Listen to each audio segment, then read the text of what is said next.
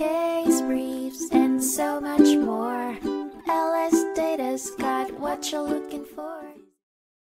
In 1993, the Supreme Court of California heard the case of Howard v. Babcock, which focused on the legality of non competition agreements within law firm partnership agreements. The case involved a dissolved law firm, Parker, Stanbury, McGee, Babcock, and Combs, and their partnership agreement stating that withdrawing partners would forfeit benefits if they competed with the firm. After the firm's dissolution, two disputes arose one concerning the withdrawal benefits, and the other involving the distribution of assets and profits of the dissolved firm. The court determined that non competition clauses in law firm partnership agreements are acceptable as long as they protect the reasonable interests of the business and impose a reasonable toll on departing partners who compete. The court held that non competition agreements among law firm partners were permissible if protecting reasonable business interests with contractual provisions specifying damages for any breach reasonably estimated as fair compensation. If the specified amount was disproportionate, it would be considered a penalty and deemed unenforceable. The trial court was directed to determine the reasonableness of the agreement